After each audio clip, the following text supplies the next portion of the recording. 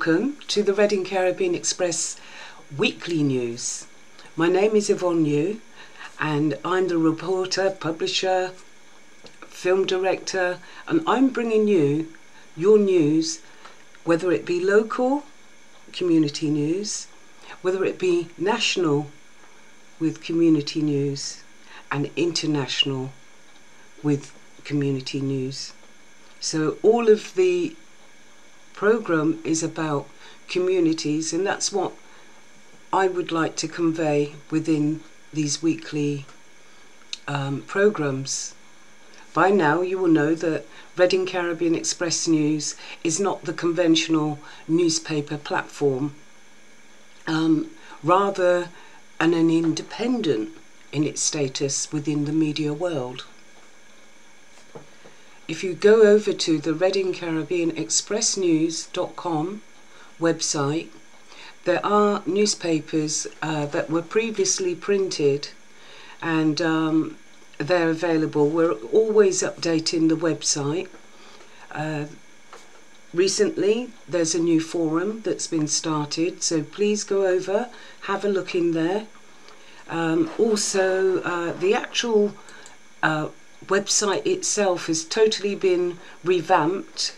Uh, we've added a, a, job and education section separately so that it's easily, easy, you know, you're able to find it easy on the website. We also have a, a weekly calendar about um, activities are happening as they come in. As you can imagine, that is a very busy area because um, not surprising, but surprising for some. Uh, there is a lot of events that are happening, whether out in the community or online. So there's always something going on that perhaps uh, taken into the African Caribbean side of our lives, um, if there's news there, then that is where you will find um, all the information. It is a free website. So once you've um, signed up, then that allows you to um, have a freer reign within the website. This is always being tweaked. So if you go in one day and you find it's this and you, we're tweaking, tweaking it so that I can provide a better service for you. So join Reading Caribbean Express News. As I said, you can join on the, the website itself um, also, there's an app, so you can download the app, and that will um, automatically make you a member if you like. And also, we're on all the social platforms as well as YouTube. So, to receive daily updates and to find out more information about the reports that you've heard today, the, it, the information will be available in full on the website. So in this week's programs, you know, we always cover the norm, um, who's with us, who isn't, who's got special occasions. Um, for Reading, I look for the uh, local community events that are happening, which is quite a lot. And um, internationally, um, some of our sisters and brothers have took the initiative and gone ahead and um, created a national websites, national uh, bodies, if you like, that their information and the input that they're providing for us is um, so so valid that you can't afford to miss it. I miss a lot of news because it's only I, I and I. Uh, but at the same time, uh, the information that I share with you on YouTube, um, I know that it will be beneficial for everybody. Um, most importantly, there's the uh, the black people, missing people, that group. Please have a look. There's always children disappearing, and we need to be the um, caretakers of this and to ensure that, you know, if we do see them, we return them back to their families or if there's issues, young people, then, you know, there's plenty of people out there that uh, will only be too happy if you put yourself forward to them and it's a right place, they will be more than happy to help you. If you come across negativity, it's because you're not meant to be at that place. That's my little message for you, young people. So, um, anyway, so community news, the national news, international news. There's lots of things that are happening within the Caribbean and the African um, countries, and we, you know, we need to um, see what is happening. And I come across many different issues that are happening, um, including an interview uh, with uh, two African. Um, it was in a like in a meeting, and I was watching TikTok and I came across it, and he was asking questions about some of their minerals, and the answer will shock you. So uh, you know that's one that I would like to um, share. If you go on my TikTok, oh yeah, I'm on TikTok too. You'll also find things that I've reshared because I think they're so important. We live as one. We should be living as one. And as one of the um, the videos that I have within this show illustrates that we are one race.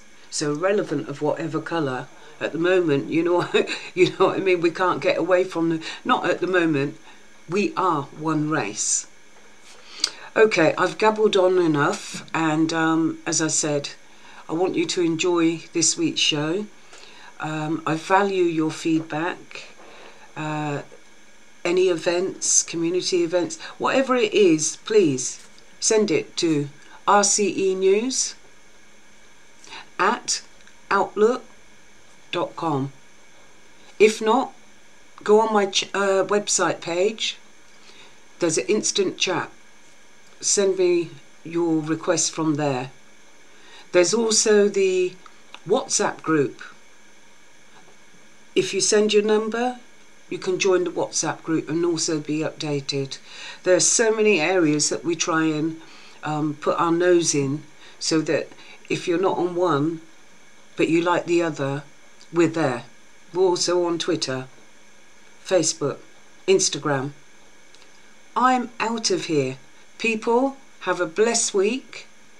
Women, enjoy International um, Month because that's what's happening here. It's International Women's Month. And um, stay blessed. Everybody else, stay blessed.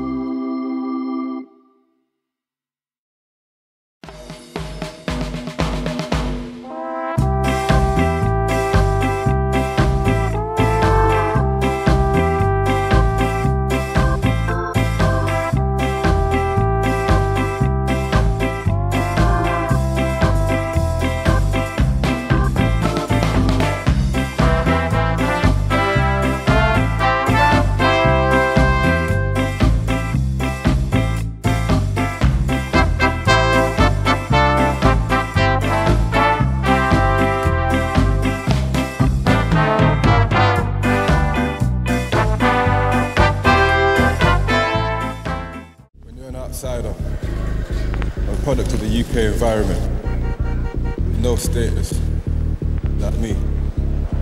The world can seem a very scary place. Areas that you've left behind are now replaced with unfamiliar faces and a different way of life. Sometimes you have to look and be dangerous to get respect. Earning loyalty and trust could be difficult, but for once you've got it, you hold on to it. Because now you've got status. The drugs you sell, the people you meet, who you hustle with, hole you dig, not knowing the aftermath, jail, death, mental illness, biting off more than you can chew. Challenges can seem overwhelming, and it's easy to take the wrong turn. That's what I did. Have you been a victim of crime or a perpetrator? Do you want to help others not to fall into that trap? Think outside of the blocks. Get in touch. Haringey Council was to create a series of one minute films with you to help people like us fight crime. Your experience, good or bad, can help.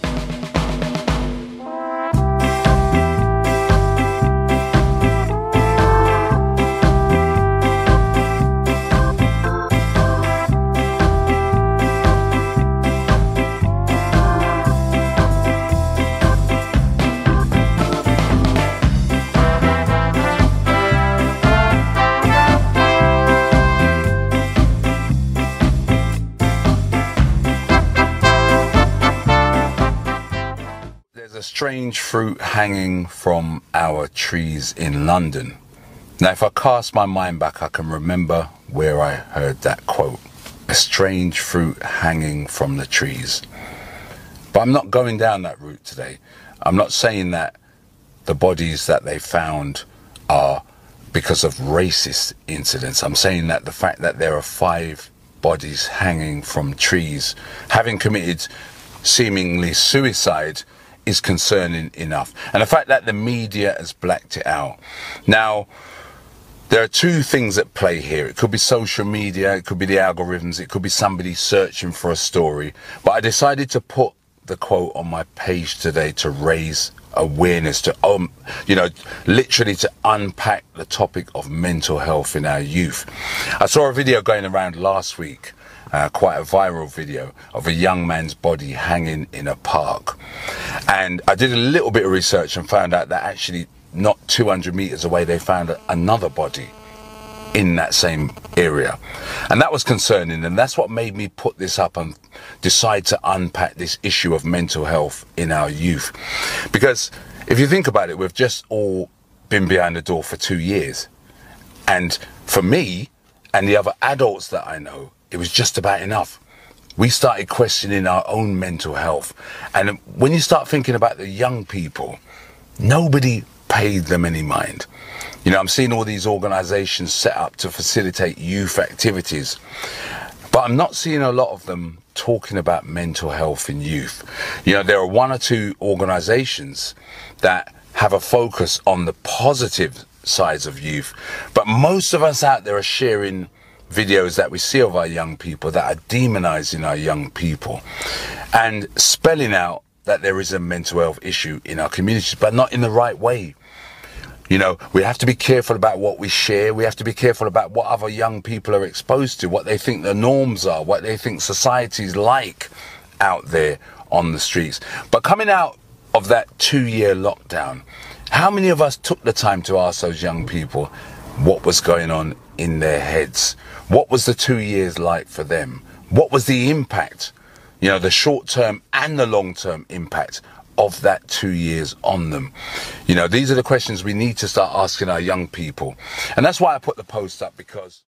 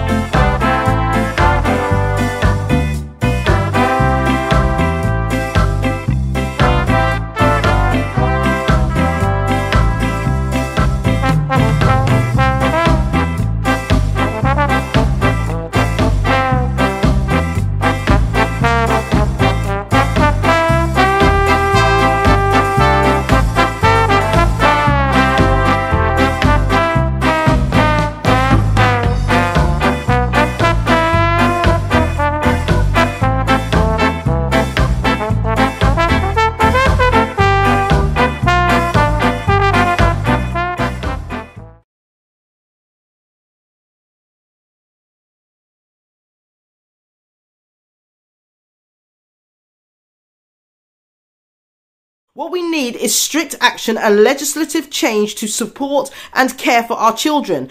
People are being paid to look after your children. If you as a parent were treating your children the way how they're treated in many of these schools up and down the country, social services would be called and your children would be taken away. The police would be called, your children would be ta- taken away. So why is it okay for you to send your child to a school for them to come home with their hair ripped out of their scalp?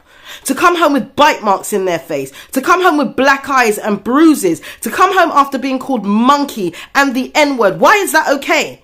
It's not. So all I'm saying is any parent please contact us, admin at theblackchildagenda.org. Yes, we are called the Black Child Agenda, but this is not just about black children. The racism, yes, absolutely, but the disability and everything else that goes along with it. We need to stand as one of all of you people that keep saying, oh, we want to support you guys. Well, come and show your presence. Let us feel your presence because at the end of the day, we're literally fighting a, a battle here. It's a battle against racism that needs to be fought and it needs to be discussed because we're always accused of playing the race card, but there ain't no card that we're playing, my dears. There's no card being played here. These things are happening daily. You've seen my post with the racist discrimination that's happening daily. Something needs to change. Okay, we have several petitions out there. Those that want to join us, come and join. Come and lend your hand. Come and lend your experience. Just on another note, um, in from my last video, as black people, this is just to the black community right now. We've been here for nearly 100 years en masse in the UK. Show me where, show me where, whenever we have been protected by the system. Show me. We have the Equalities Act 2010. We have Every Child Matters. We have all of these sound bites. Yeah. Show me where it's actually been actioned. Show me when we've ever ever been protective. We've fought in the wars in this country. We cleaned up this country. We've done all the things that need to be done to come and integrate. Remember, that was the thing. Come to the motherland, integrate. And we got here, no blacks, no dogs, no Irish. We were spat upon. We weren't allowed to get jobs. We, we built the NHS. We drove the buses. We did all of those things. We looked after everybody else's children. We've done it all to try and fit in. We've done it all to try and be accepted. But we're a different generation now. We can no longer tolerate being beaten down constantly. We can no longer tolerate being stigmatized by the police, stigmatized by society. We have a voice. Okay, well, our voice is always getting silenced, but we have a voice. We now need to learn to use it. We need to put our money where our mouth is. We need to actually empower our children. I'm sorry, when my son was being bullied in school, he's 31 years of age now. I sent him to martial arts so he can learn to defend himself. And I told him if anyone puts their hands on you, you kick it down. Okay, some of you may be like, oh, we don't tolerate violence. Really? Tell that to the racist children that are beating up on a black child who's minding their little black business. Tell that to the black children who are having their hair ripped out of their head. Tell me, show me.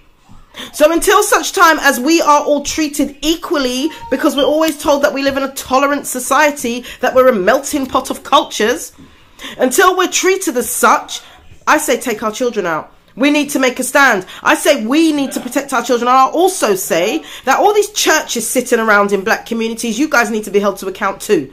Yeah, you're sitting down, your buildings are empty five, seven days a week, whatever day of the week, unless you're taking tithes. And I don't mean that literally, but it is just, it's just the reality. You need to open your doors so that if parents do choose to take their children out for this time between the 13th and the 17th, if parents do choose to take their children out, our children need a, need a safe space within their community that they can be sent. We have hundreds of volunteers that will be happy to spend time with our children, be happy to sit down and help them with their GCSE, be happy to make sure that they feel the love that they that they deserve. Because I know not everyone can walk out. I know I know everyone. You know there may be nurses amongst us. There may be people on shift work that you have not got a choice, find a babysitter, find your local church, get involved, do something different because this is not working how it is currently. It's not working for us and it's not certainly not working for our children.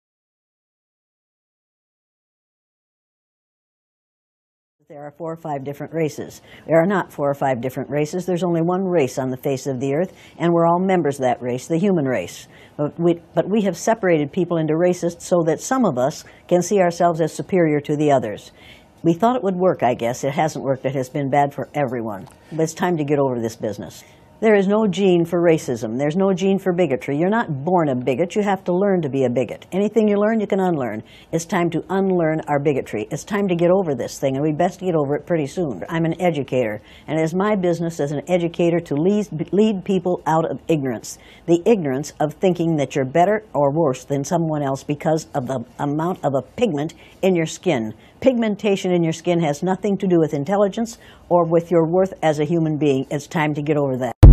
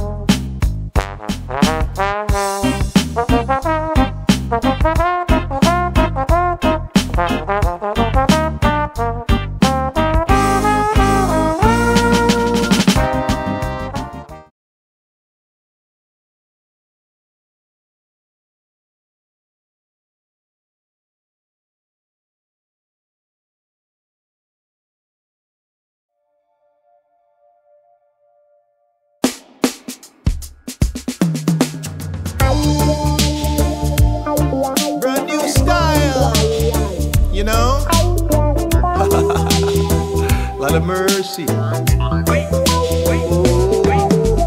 know we cannot slow down when things about to go down. If we make the right move, we fall into the right groove.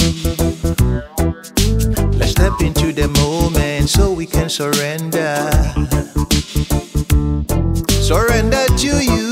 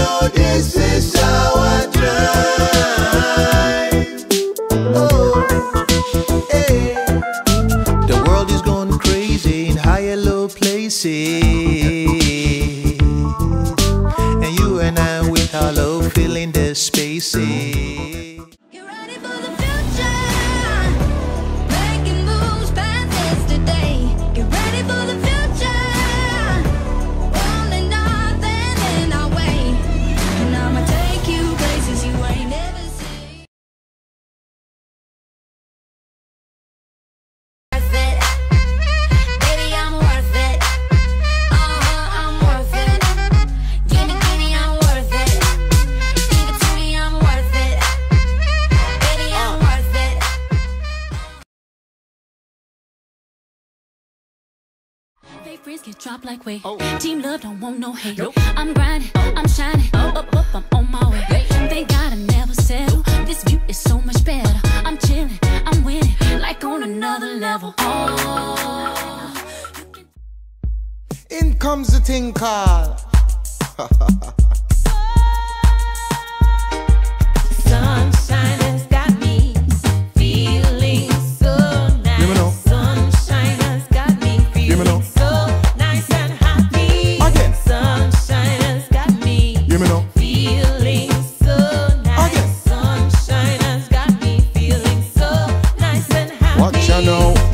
sunshine, one of the best atmosphere. 95 degrees, you know we no care. On the beach we have to reach, cause you know we not bleach. Sun so hot, you have to put on your shades. Ladies come out in shorts and your bikini place. Body so smooth, me have to shout, oh jeez. So we chilling at the bar, taking shots all day. No bad vibes, good vibes all day. Call your family and friends, it's a good sunny day. Kids them up play from Sunday to Sunday. Let's all